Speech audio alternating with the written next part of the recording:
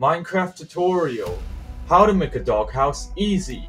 That's right guys, a Minecraft tutorial on how to make a doghouse.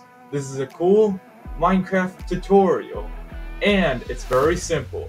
But before I go on the video, leave a like on the video to beat the YouTube algorithm and according to my YouTube analytics, most of you guys are new and not subscribed. So you're watching this video and not subscribed, please click the subscribe button right now because it's completely free and it helps out a ton. But any which way guys, enjoy the video. Hello everybody, Hangey Cow here back with another video. And in this video, I'll be showing you how to make a doghouse in Minecraft. And it's very simple.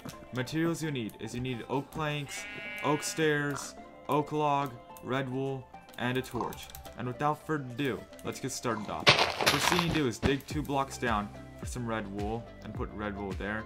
And then after I put in some oak planks, and then put in a torch here.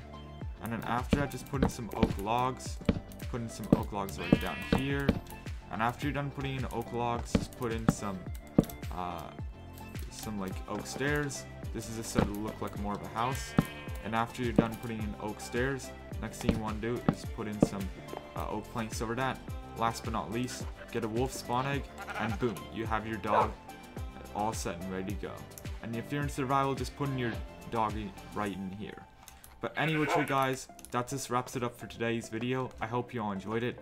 Leave a like if you enjoyed it, share it if you liked it, and be sure to click subscribe if you haven't already.